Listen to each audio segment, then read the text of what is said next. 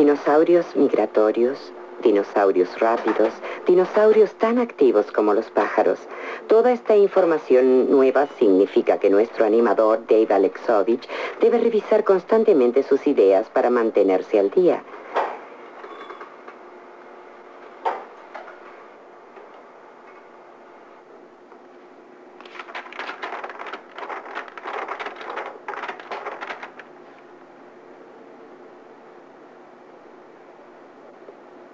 Se dirige a Bob Acker para que lo ayude con su estegosauro.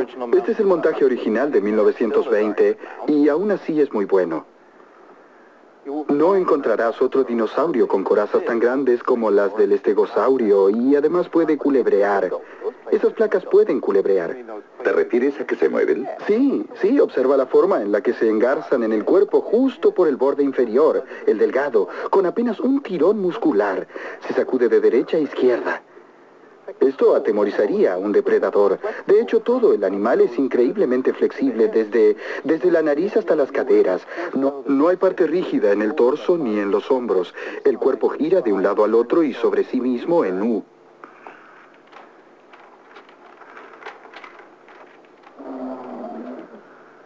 Hablamos de artes marciales del Mesozoico con mucha coreografía y la razón, la razón de ello es el extremo de la cola. Tiene cuatro pernos de defensa y realmente filosos.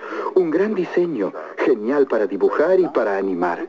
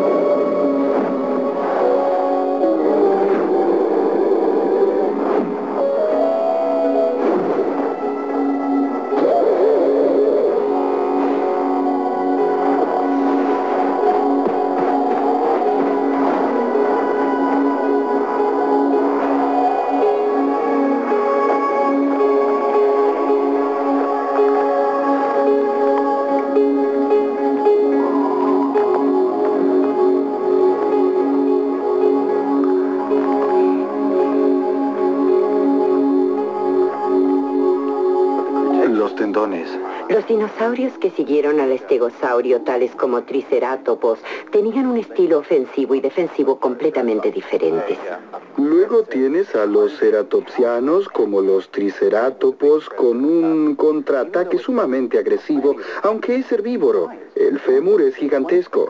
Tiene el doble de ancho, el doble de fuerza de un elefante africano y la tibia, aunque es corta, tiene un músculo masivo para empujar al animal hacia adelante en un contraataque.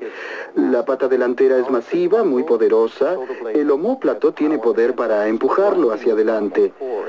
Y si observas debajo de la cabeza puedes ver la cavidad de la articulación en donde el cuello se une a la cabeza justo por el centro de gravedad, con que la cabeza gira en cualquier dirección. No lo había notado. Debes tenerlo en cuenta. Justo aquí, debajo de los ojos, entre los cuernos y los músculos. Entonces puede girar la cabeza hacia arriba, abajo los costados fácilmente. Debe hacerlo. Mira dónde están las cavidades de los ojos, hacia los costados como un rinoceronte. Ve a un depredador, va hacia adelante y los músculos del cuello mueven la cabeza hacia arriba y adelante, arriba y adelante. Una combinación de rinoceronte gigante y toro brahma.